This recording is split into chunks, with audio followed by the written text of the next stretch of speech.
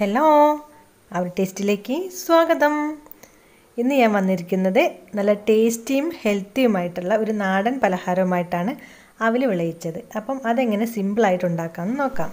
അപ്പം നമുക്ക് അവിൽ വിളയിച്ച് തുടങ്ങാം. അതിന് വേണ്ടിയിട്ട് ഞാൻ അഞ്ഞൂറ് ഗ്രാം ബ്രൗൺ കളർ അവിലാണ് എടുത്തത്. അര കിലോ അവിൽ മട്ട അരിന്റെ അവിലാണ് എടുത്തത്. അല്ലാതെ വൈറ്റ് കളർ അവിലെടുക്കാൻ പാടില്ല. വളരെ കനം കുറഞ്ഞ അവിലെടുക്കാൻ പാടില്ല. കാരണം ഈ ശർക്കരയും തേങ്ങയും ചൂടുള്ള സമയത്താണ് നമ്മൾ ഈ അവിൽ അതിലേക്ക് ഇടുന്നത്. ആ സമയത്ത് അവിൽ പെട്ടെന്ന് കുതിർന്നു പോകാൻ ചാൻസ് ഉണ്ട്. അതുകൊണ്ടാണ് നൈസായിട്ടുള്ള അവിൽ എടുക്കേണ്ടതെന്ന് പറഞ്ഞത്. പിന്നെ ഇതിലേക്ക് വേണ്ടത് തേങ്ങയാണ്. ചെരുകിയ തേങ്ങ. എത്രയാണോ നമ്മൾ അവിലെടുക്കുന്നത് അതേ അളവ് തന്നെ തേങ്ങ എടുക്കണം. അപ്പം ഞാൻ അവിൽ ഇതിനൊരു പാത്രം അവിലാണ് എനിക്കുണ്ടായിരുന്നത് അഞ്ഞൂറ് അവിൽ അപ്പം അതേ അളവ് തന്നെ ഞാൻ തേങ്ങ എടുത്തിട്ടുണ്ട്. പിന്നെ നമുക്കിതിലേക്ക് വേണ്ടത് ശർക്കരപ്പാനിയാണ് ഇത് എഴുന്നൂറ്റൻപത് ഗ്രാം ശർക്കര ഇരുന്നൂറ് എം എൽ വെള്ളത്തിൽ മെൽറ്റ് ചെയ്ത് വെച്ചതാണ്. ഇരുന്നൂറ് എം എൽ എന്ന് പറഞ്ഞാൽ നോർമൽ ഒരു ഗ്ലാസ് വെള്ളം. പിന്നെ ഇതാ ഇതേപോലുള്ള പതിനാറ് അച്ച് ശർക്കരയാണ് ഒരു കിലോ ശർക്കരയിൽ എനിക്ക് ഉണ്ടായിരുന്നത്. അതിൽ പന്ത്രണ്ട് മുതൽ പതിനാല് വരെ ശർക്കര നിങ്ങൾക്ക് ഇതിന് വേണ്ടി ഉപയോഗിക്കാം. എഴുന്നൂറ്റൻപത് ഗ്രാം എന്ന് പറഞ്ഞാൽ ഏകദേശം അത്രയ്ക്ക് വരും.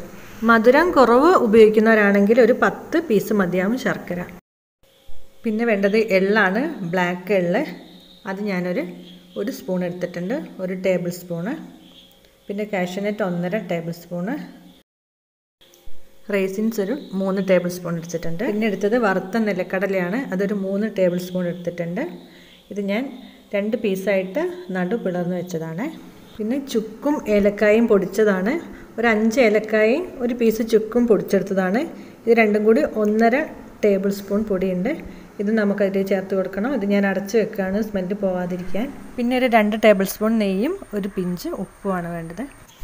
ആദ്യം തന്നെ നമുക്ക് അവിലൊന്ന് വറുത്തെടുക്കണം. ജസ്റ്റ് ഒരു അഞ്ച് മിനിറ്റ് വറുത്താൽ മതി. അധികം ക്രിസ്പി ഒന്നും വേണ്ട ജസ്റ്റ് ഒന്ന് ചൂടാക്കി എടുത്താൽ മതി. എന്നിട്ട് ഈ സെയിം ഉരുളിയിലേക്ക് തന്നെ പൊടികളൊക്കെ ഉണ്ടെങ്കിൽ ഒന്ന് തുടച്ച് കൊടുത്തിട്ട് ഒരു രണ്ട് ടേബിൾ സ്പൂൺ നെയ്യ് ഒഴിക്കുക. അതിലേക്ക് നമ്മൾ എടുത്ത് വെച്ചിരിക്കുന്ന കാഷ്യനട്ട് ഒന്ന് ചേർത്ത് കൊടുക്കുക. അത് ജസ്റ്റ് ഒന്ന് കളർ മാറി വരുന്ന സമയത്ത് അതിലേക്ക് ബാക്കി സാധനങ്ങളൊക്കെ ഇട്ടിട്ട് നമ്മൾ മെല്ലെ മെല്ലെ വറുത്ത് കോരണം. നെയ്യ് കുറച്ച് ഉപയോഗിക്കാൻ ആഗ്രഹമുള്ളവർക്ക് ആദ്യം തന്നെ ഉണക്കമുന്തിരി ഒന്ന് സോട്ട് ചെയ്തെടുത്തിട്ട് അത് കോരി മാറ്റി വെച്ചിട്ട് പിന്നെ ബാക്കിയുള്ള സാധനങ്ങളൊക്കെ ഇട്ടൊന്ന് വഴറ്റിയെടുത്താൽ മതി. ഇതിന്റെ പാകം എന്ന് പറയുന്ന എള്ള് ജസ്റ്റ് ഒന്ന് പൊട്ടും. കുറഞ്ഞ സമയം വഴറ്റിയാൽ മതി. പെട്ടെന്ന് തന്നെ നമുക്കത് എടുത്ത് മാറ്റി വയ്ക്കണം ഇനി ഇതിലേക്ക് നമ്മൾ എടുത്ത് വെച്ചിരിക്കുന്ന ശർക്കരപ്പാനി അങ്ങോട്ട് ഒഴിച്ചു കൊടുക്കണം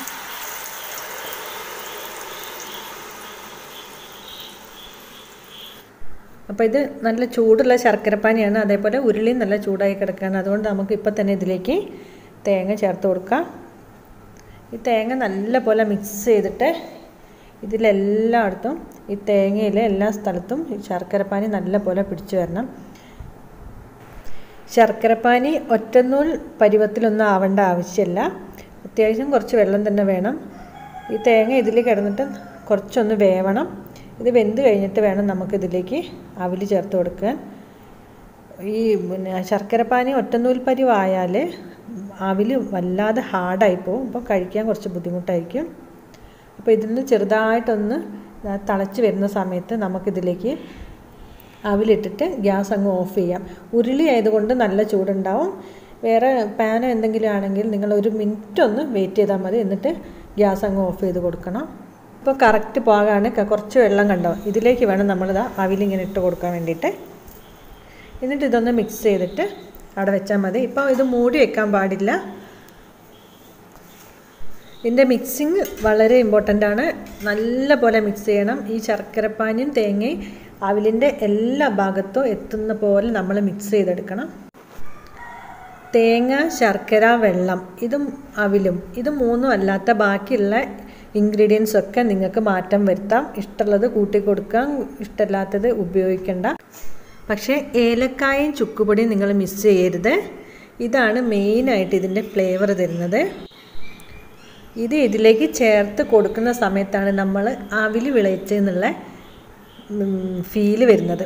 അത്രയ്ക്ക് സ്മെല്ലാണ് പെട്ടെന്ന് ഇതിന്റെ സ്മെല്ലും കാര്യങ്ങളൊക്കെ മാറിയിട്ട് ഭയങ്കര ഒരു ടേസ്റ്റി സ്മെല്ലായിട്ട് വരും. ഒന്ന് ജസ്റ്റ് മിക്സ് ചെയ്ത് കൊടുത്തിട്ട് നമ്മൾ ഈ വറുത്ത് വെച്ചിരിക്കുന്നത് കൊണ്ട് ഇതിലേക്ക് ചേർത്ത് മിക്സ് ചെയ്താൽ നമ്മൾ സിമ്പിളായിട്ടുള്ള അവിൽ വിളയിച്ചത് ഇവിടെ റെഡി ആയിട്ടുണ്ട്. അപ്പം നിങ്ങളിതൊന്ന് ട്രൈ ചെയ്ത് നോക്കണം. നല്ല ടേസ്റ്റി ആയിട്ടുള്ള ഒരു പലഹാരമാണ്. എപ്പോഴും എപ്പോഴും ബേക്കറി പോയിട്ട് സാധനങ്ങൾ വാങ്ങാതെ ഇങ്ങനെയുള്ള പഴയ പലഹാരങ്ങൾ കുട്ടികൾക്ക് ഉണ്ടാക്കി കൊടുക്കുക. അപ്പോൾ ഇത് തണുത്തതിന് ശേഷം ഒരു എയർ ടൈറ്റ് ബോട്ടിലാക്കി വെക്കുക. മൂന്നാൽ ദിവസത്തെ കേട് വരാതിരിക്കും. പിന്നെ വേണമെങ്കിൽ ഫ്രിഡ്ജിലേക്ക് വെച്ചാൽ മതി. അപ്പോൾ നിങ്ങൾക്ക് ഈ വീഡിയോ ഇഷ്ടമായെങ്കിൽ ലൈക്ക് ഷെയർ ആൻഡ് സബ്സ്ക്രൈബ് ആ ബെൽ ബട്ടൺ ഒന്ന് ക്ലിക്ക് ചെയ്യണേ. താങ്ക്